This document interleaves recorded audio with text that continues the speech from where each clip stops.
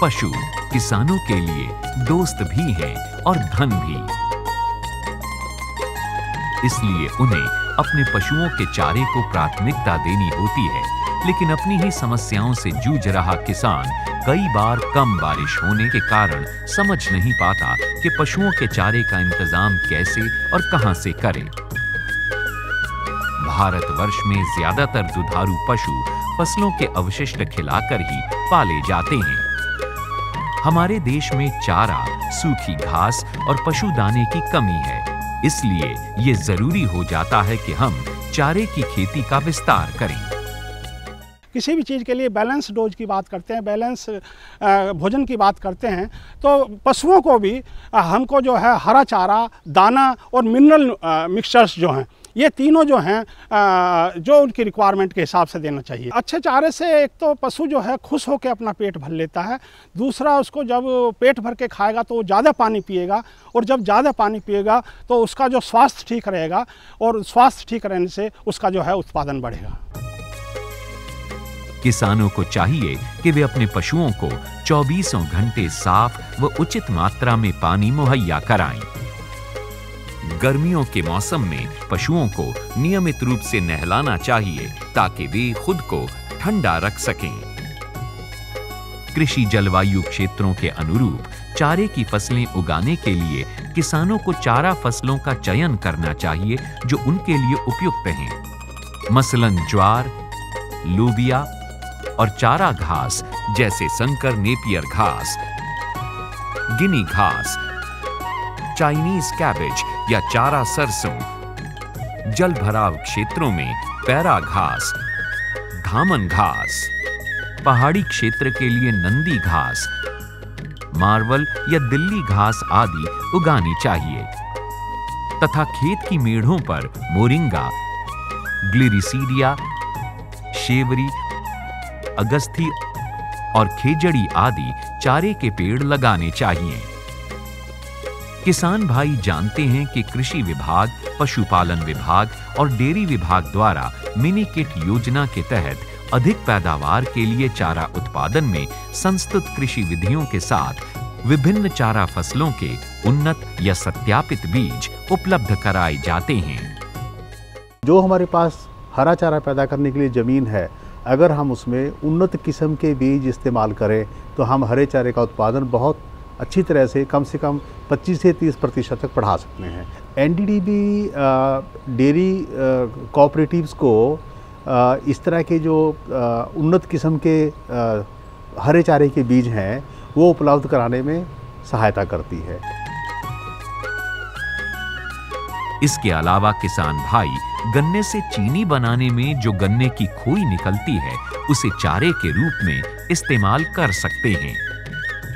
पेड़ पौधों व सब्जियों की पत्तियों को, सूखे की स्थिति वाले क्षेत्रों में पाए जाने वाले कैक्टस को, नीम के बीज की खल और सड़े गले खाद्यान्न के दानों को पशुओं के चारे के रूप में प्रयोग कर सकते हैं। पशुओं के चारे के मुख्य स्रोत हैं धान, गेहूँ, जौ, बाजरा, मक्का, ज्वार और रागी जैसी फ़सलों के अवशिष्ट।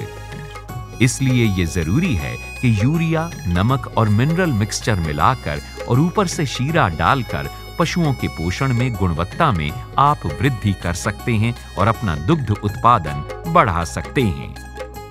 आपकी खाने की जो मेथड है, उसमें क्या क्या चेंज करना है कि मुनाफा ज़्यादा हो और फीडिंग कॉस्ट मिनिमम हो? उसके हिसाब से दूध में प्रोडक्शन में फ़ायदा होगा फैट में सुधार होगा एस पे सुधार होगा, जानवर की पूरी तंदुरुस्ती पे फ़ायदा होगा। पूरे साल भर में जो जो खाने के हिसाब से बीमारियाँ थी, वो मिनिमम हो जाएगी। हमारे किसान भाई ये भी जानते हैं कि भूमि की उर्वरता के संतुलित प्रबंधन के लिए गोबर की खाद, कंपोस्ट, दलहन की फ़सल या हरी खाद को फ़सल चक्र के रूप में अपनाना चाहिए। गोबर की खाद की आपूर्ति कम है, इसलिए हरी खाद उनके लिए एक अच्छा विकल्प हो सकती है। ढेंचा और सनई की जड़ों पर पाई जाने वाली गांठें वातावरण से नाइट्रोजन को इकट्ठा करती हैं। ढेंचा में नाइट्रोजन और अन्य तत्व प्रचुर मात्रा में संचित रहते हैं, लिहाजा इनकी खाद फ़सलों के लिए लाभदायक होती है।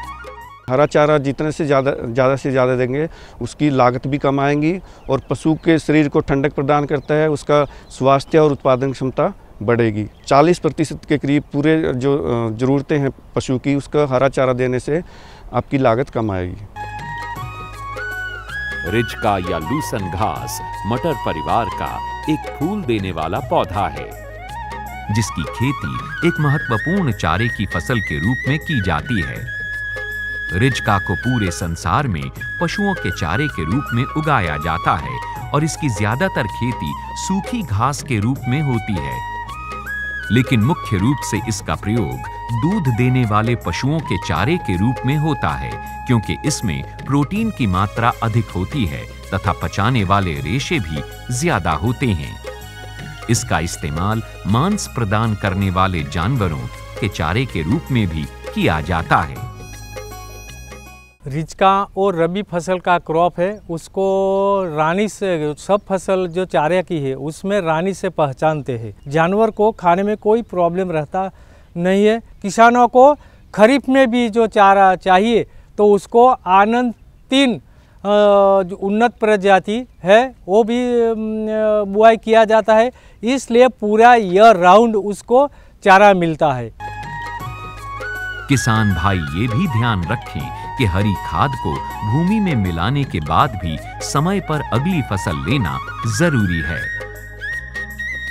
किसान भाई, अधिक उपज देने वाली प्रजाति का विकास तथा उच्च पोषण एवं समय पर तैयार होने वाले फ़सल चक्र को अपनाएँ।